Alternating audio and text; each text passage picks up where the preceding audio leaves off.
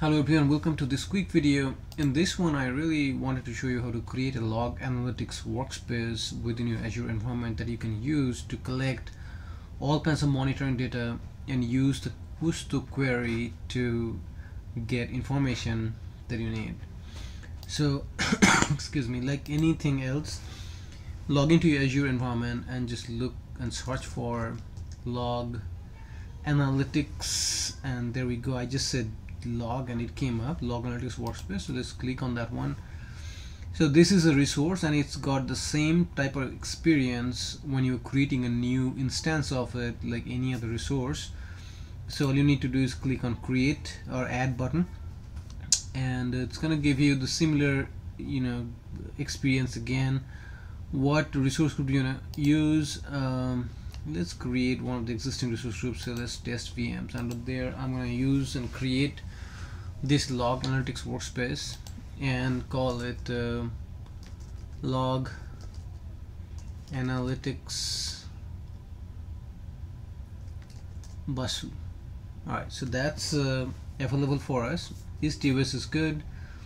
And uh, pricing tier if you look at it you have multiple different uh, options. Usually available for many other resources. Here you have only one option uh, pay as you go. So just select that one. Tags if you want to tag this resource you can. And now you are here. And it's going through a final validation uh, and checking out checking out the environment if it's allowed under your subscription if that service is available in a particular region things like that. So validation has passed.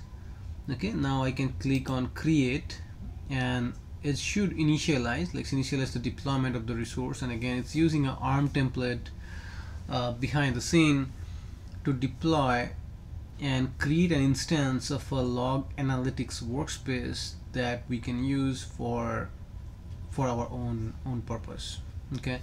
So again this uh, deployment it's where it is it's going to show up in here and as well as in this notification bar.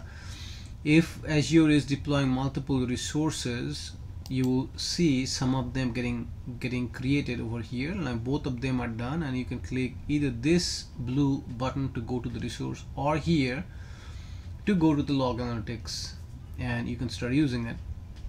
So let's click on that one. So first thing you wanna check is the name. It's a log analytics workspace? That's good.